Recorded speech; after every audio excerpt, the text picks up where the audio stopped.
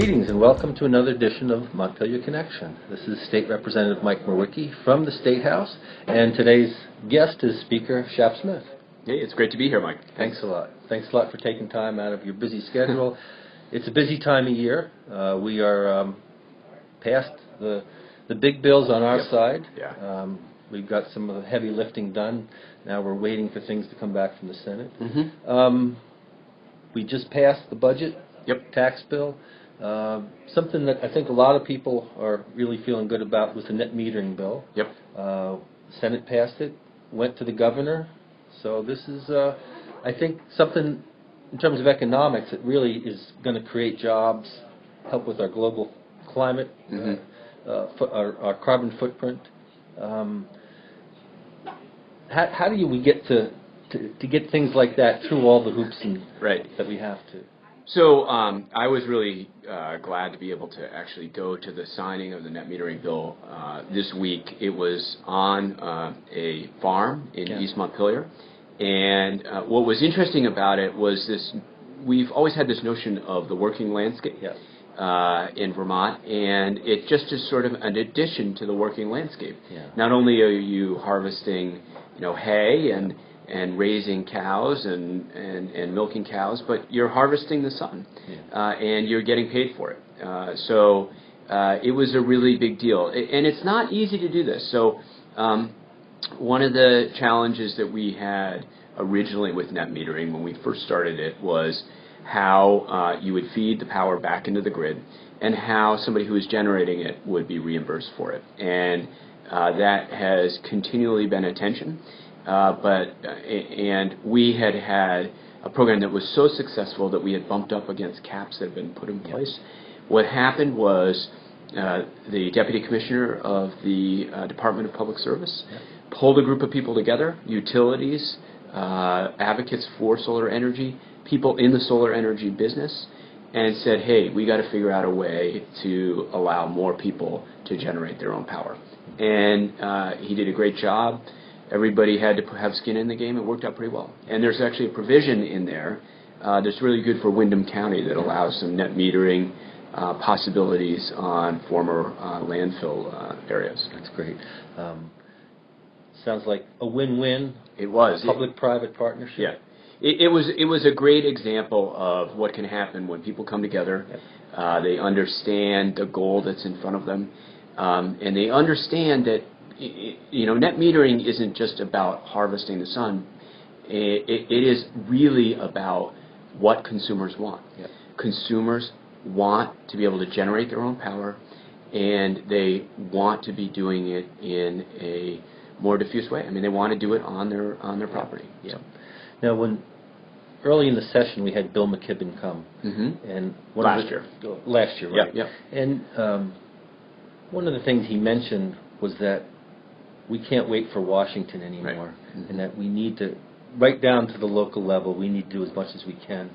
Uh, I think this is a good example Yep. of us doing our bit for decreasing our, our, our carbon footprint and, and moving ahead on what can be done. That is so true, um, and uh, you know it can't happen fast enough. But but think about it.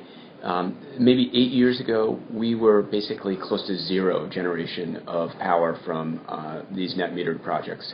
Now uh, it's pretty close to three to four percent of uh, our generation in the state of Vermont. There are two things that are happening there. One, uh, it's great to have that local generation of power, but the other thing is it takes pressure off of the big power lines that are part of the grid. Um, and to the extent that we have to don't have to build those new power lines, that's good for the environment, but it's also uh, cheaper for us, so it's it's good. Yeah.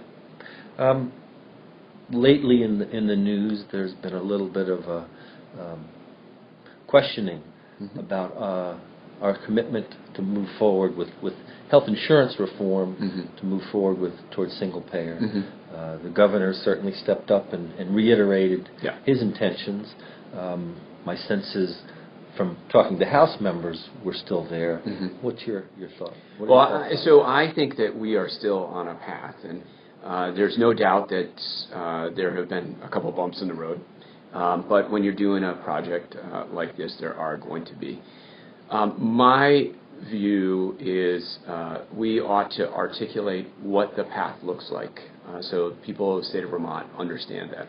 Um, and there's been a fair amount of attempt to uh, make that a little cloudier than it needs to be. But I think that what you will see is an articulation of benchmarks about when things need to happen for us to take the next step. So uh, the administration makes a recommendation to the Green Mountain Care Board about what kind of plans people should have under Green Mountain Care.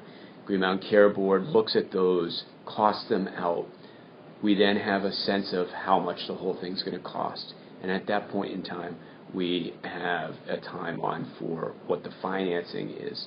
So it, it, it's really a series of benchmarks that we know we need to meet along the way um, and pe- give people confidence that we're doing the due diligence, but also give people the confidence that we, ha- we know the path forward. Yeah.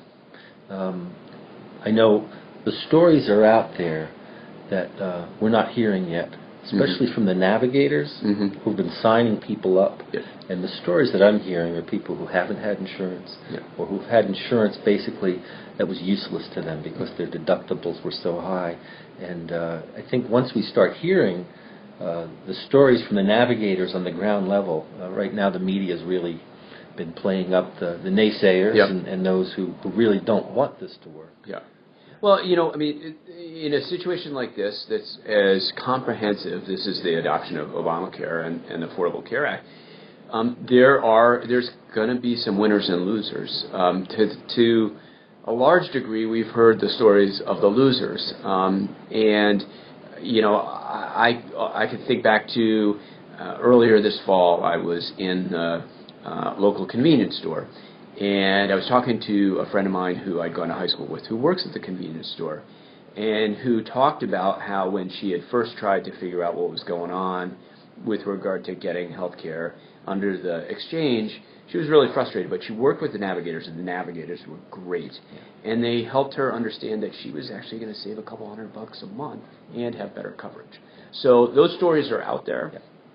Um, it's clear that the uh, bumpy rollout uh, really uh, put a bad spin to start with, and it's always hard to uh, recover from a from a bumpy start. Yep.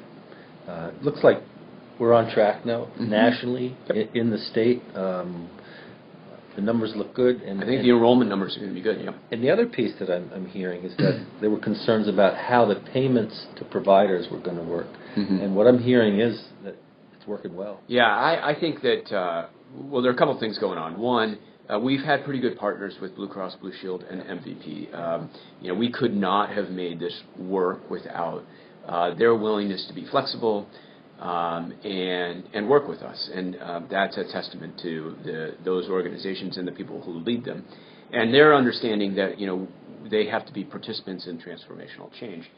So uh, the and their back end systems have been pretty good on the payment end. So overall, I think actually as we continue to move forward, people are going to be pretty happy. hmm Well, um, just have a couple minutes. I Mhm. know we, you've got a lot to do. We're Yeah. still working on Well, you got to drive back to uh, Putney at some point in right. time, right? Yeah. That's right. Uh, But luckily, the weather's weather's changing. yeah, right, yeah. The the weather's finally catching up to the calendar. Yeah, exactly. So, um, hopefully, we won't have any any more snowstorms to deal with. Uh, We're heading to the last month or so of the session.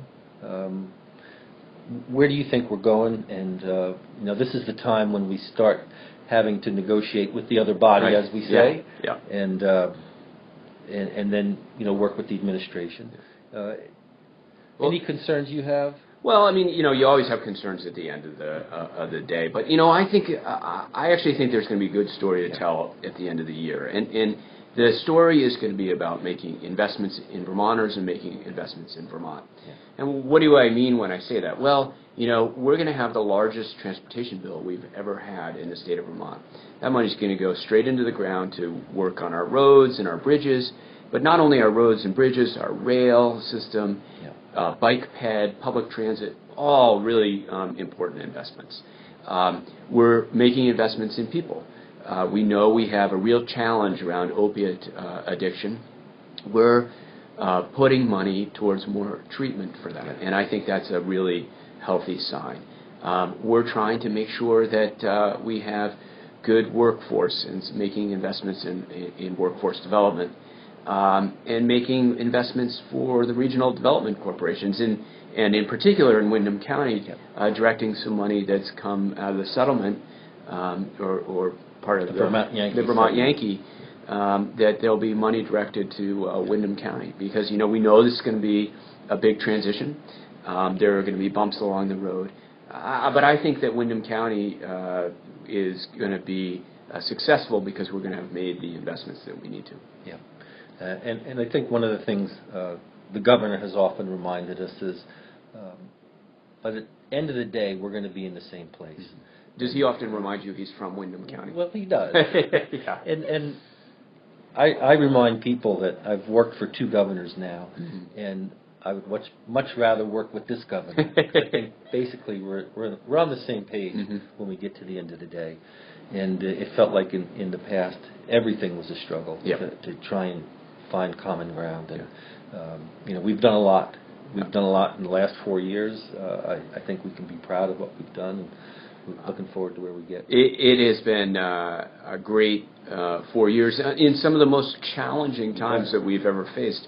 You know, an incredible economic crisis, Yeah. uh, tropical storm Irene, uh, you know, a variety of just hits to the gut. And quite frankly, I think that uh, Vermont is uh, hanging in there and getting better. You you bet. I, I think our economy uh, has been doing much better than any other place, one of the lowest Yeah. unemployment rates. Um, We've cr- we've fostered a climate where business, whether it's green jobs or otherwise, is ready to, to take that next Mhm. step. And uh, the hard work of these collaborations Yep. that you mentioned really position us well. Yeah.